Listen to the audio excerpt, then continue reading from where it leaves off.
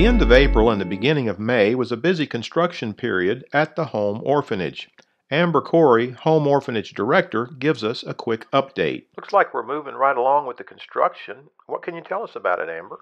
Yeah, we've seen a lot of progress this month. We're really excited. We had three teams here.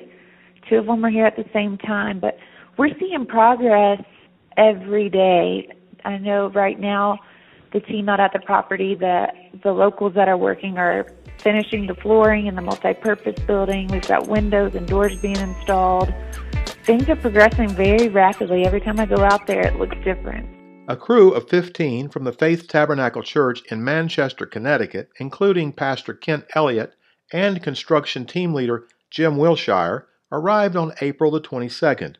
Pastor Elliott tells us about his team's activities. What were some of the things that your team uh, accomplished on this trip?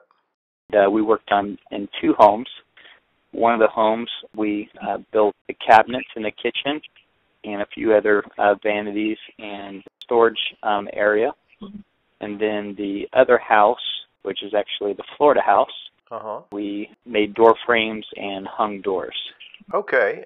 Now, I understand that your church has been involved in foreign missions for quite a while now. Yeah, it's actually our fourth trip taking men down over uh, the past uh, probably 12, 15 years. Um, my fifth trip down there. Tell me what what's the effect that you see on those in your congregation that that get involved in missions work? That exposure to outside of your local ministry is huge. You know, it brings back a, a greater uh, burden and passion um, outside of your local calling. Does your personal involvement in missions give you a, greater insight and maybe a, a better ability to communicate that calling that we all have? Absolutely. There's so much, only so much that you can say or that you've heard or seen pictures. But when you get on the actual soil of that mission field, that not only personally does it bring back that you can minister and talk about that experience, but it runs over to your congregation that there's something bigger than right here in our own city. The California crew from Spirit and Truth Worship Center, pastored by Thomas Koppel in Orange, California, arrived on April the 26th. Team leader Dennis Barnes and his crew worked on two of the three homes sponsored by the California group. On this trip here, we worked on the two houses that we are building the uh, Nathan House and the uh, Star House and uh, we just went down to finish up what we started from last year. We put in about two ceilings in the houses, the wood ceilings. We got one completed, one about 90% completed. Uh, electrical, we did the bathroom tile in the in the showers, and uh, you know we painted both houses and then put the eave trim on the soffit, so the eaves. We completed both of those houses. Now, you mentioned earlier that this trip has been a blessing for the men that you work with on this project. Can you describe that? When they got on, you know, on board and went down there and started working with people that the locals that live there, and then actually being there on the mission station, you know, I mean, it, it changed their lives. Every one of them testified of how it just you know, opened up their eyes.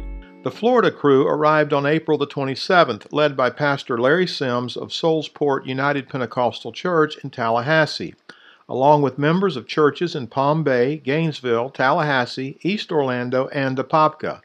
They installed a roof on the multi-purpose building and painted the Florida house. Sister Barbara Hutching of Apopka shares her thoughts. When we were painting, Marcy said you need to pray while you're painting because the kids that are going to be housed here will need that prayer. So I thought, you know, this is not about the paint we're putting on the walls or things that we're doing. It was about the kids, the impact that it was going to have on their lives. It was ultimately our goal to do this for the children. And finally, we finish with a discussion with Amber Corey about the issues she's addressing in preparation for the opening of the home orphanage. I know you have a very busy schedule ahead of you, but what are some things that have to be checked off your list before the children start to arrive?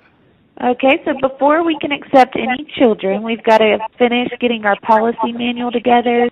and then all of that will have to be approved by the government here, and we'll have to pass a an inspection of our facilities, and then we'll start getting all of our staff lined up. The first week of October, we have a team here installing the nurses station, and that should be our last thing that we need before inspection. Do you have a time frame for the opening? There are many variables that have to fall into place before we can go for our inspection. So it's hard to give a for sure time frame, but we're aiming for this fall. Now, will there be structured opportunities for financial support, like sponsorships? Just as soon as we have our first child, we'll we'll be ready to launch our child sponsorship program. So we will definitely be offering child sponsorship. You can also sponsor an employee if you wanted to. Um, and then there's also we've had people ask us about, well, can I sponsor food or electricity, and all of those things can be sponsored. We can you can sponsor anything you want to sponsor. yes, I'm sure there won't be lack of opportunity there. But what do you see as the largest challenge ahead of you before opening? Our big concern right now is raising money for the general fund, so we'll have operating expenses covered. But we're we're just praying that God brings it all together. He's got a plan bigger than we could even imagine. So we know He's got the people in mind. He can give us favor with the government. And He's just had His hand in this all along, so we know that He's got a plan for getting us up and rolling.